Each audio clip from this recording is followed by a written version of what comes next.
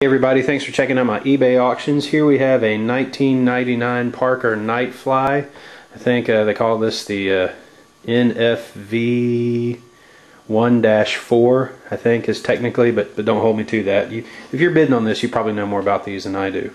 Um, I have not seen another one of these. I don't know if you guys can tell. It's a white pearl finish. Uh, it probably just looks white in the video, but hopefully it'll show up a little better in the pictures.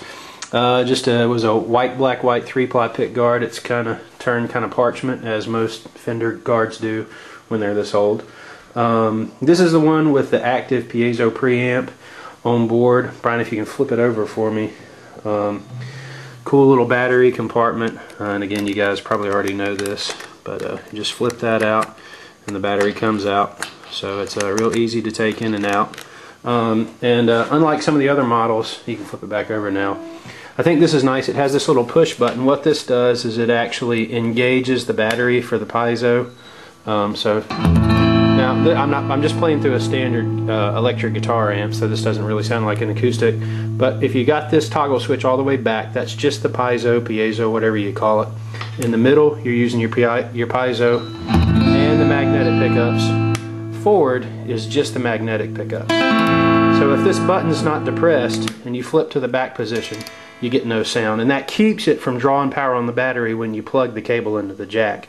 Like with most acoustic electrics or basses with active preamps, once you plug your cable all the way in so it's engaged, it's drawing power from the battery. This is nice to have that disconnect so you don't run your battery down when you're not actually using that. So, Alright, so um, we're just going to give you a little taste of what each pickup position can do clean and then we'll go through them all again a little dirty.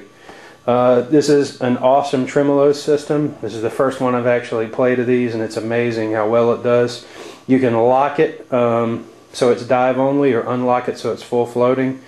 Um, we're just going to keep it in the dive only mode uh, just to keep things simple. So uh, we're going to start on the neck pickup and work our way down. So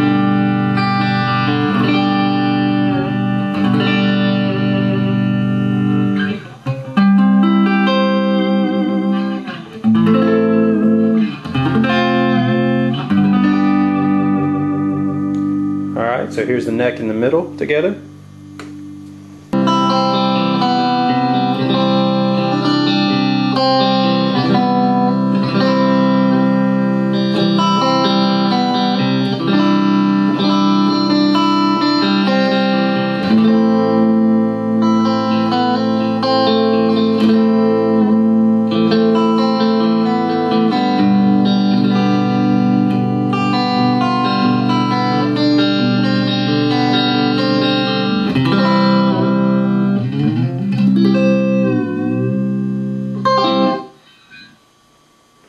Here's just the middle.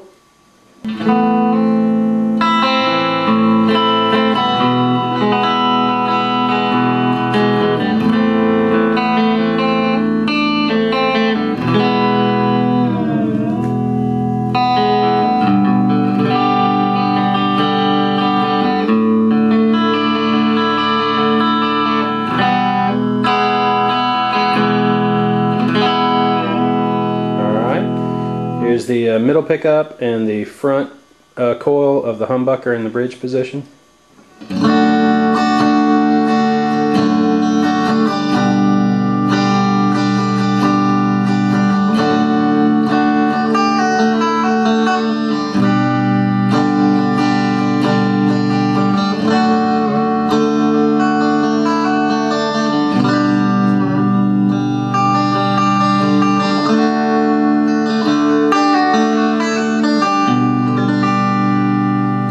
Just the bridge.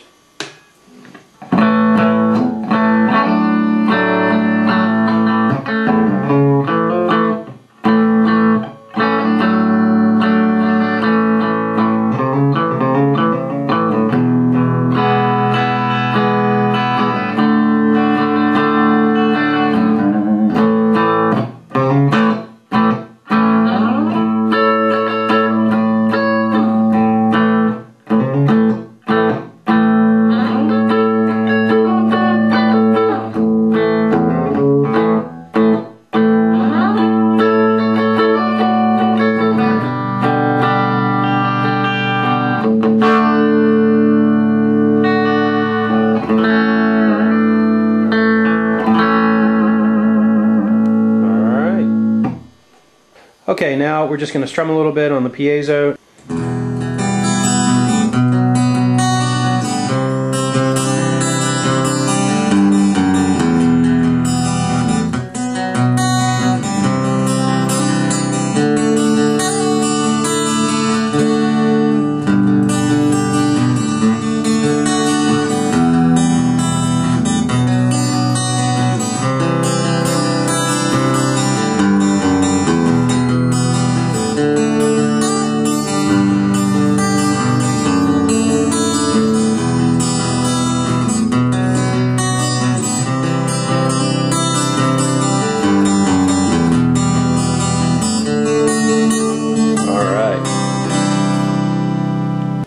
Okay, here we are. Just going to give you a little taste of the dirty, um, dirty sound. And um, again, this is just a solid state amp. See the cable goes right to this Cube 30X, and I'm just using like the metal channel on this. And of course, I know, I mean, there's all kinds of different distortions and gains. So this is just some basic, something on the neck and then something on the bridge.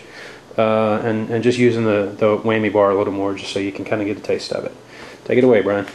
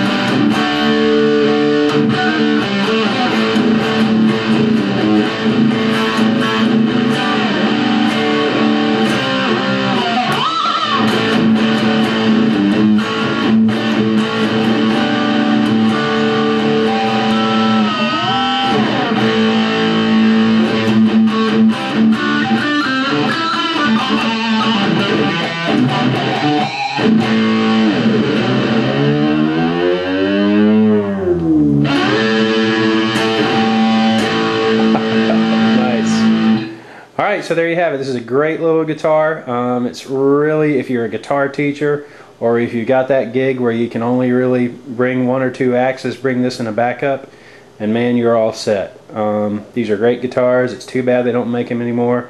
The neck feels great. Um, I think what I like about this one is when I try to mess around with, with uh, stuff, if you notice the strings are kind of offset a little bit, and I don't know if this is just part of Ken Parker's brilliance, but like I have trouble sometimes when I'm messing around on the first string of it falling off the edge.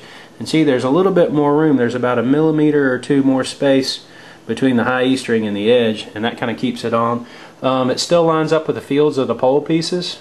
Um, and I don't again I don't know if that's intentional or just how this particular neck is set in. But uh, man this is a great guitar and so I hope whoever gets it enjoys the heck out of it. Uh, so thanks for checking out my eBay auctions.